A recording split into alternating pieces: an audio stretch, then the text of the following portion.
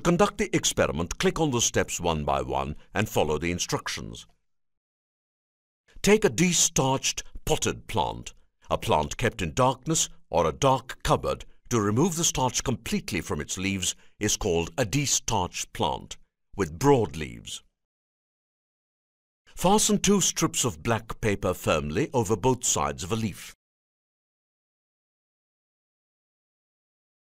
Expose the leaf to sunlight. The plant should be exposed to sunlight for a few hours, eight hours roughly. After eight hours, pluck the leaf from the plant, remove the cover and test it for starch.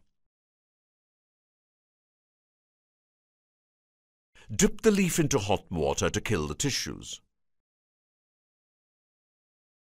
Dip the leaf into alcohol placed in a hot water bath to decolorize the leaf and remove the chlorophyll.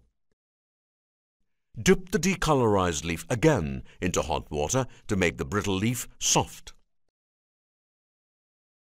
Spread the leaf on a white tile and add a few drops of iodine solution. The exposed portion turns blue-black, indicating the presence of starch, while the covered portion remains brown, indicating the absence of starch.